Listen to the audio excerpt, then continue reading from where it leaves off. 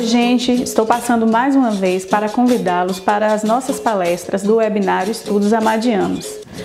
Teremos dia 31 de agosto a terceira palestra e dia 3 de setembro a nossa quarta palestra. A terceira será com a pesquisadora italiana, biógrafa de Zélia Gattai, Antonella Rita Rochili. A quarta será com o pesquisador Edivaldo Bergamo, da Universidade de Brasília.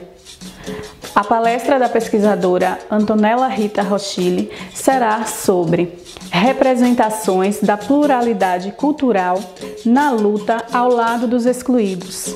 O sonho intercultural na vida e na obra de Jorge Amado.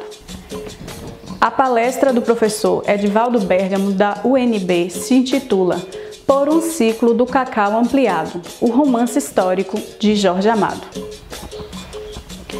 Contaremos também com a presença do professor doutor Flávio Gonçalves, da UESC, que fará também uma fala institucional sobre o PPGH da UESC. Para fazer a mediação da fala do professor doutor Edivaldo Bergamo, contaremos também com o professor doutor e poeta João Vanderlei de Moraes Filho, que fará uma fala institucional sobre a Portuário Editorial. O nosso vídeo, se inscreva no nosso canal Universidade da Gente e venha acompanhar estas e outras palestras do webinário Estudos Amadianos.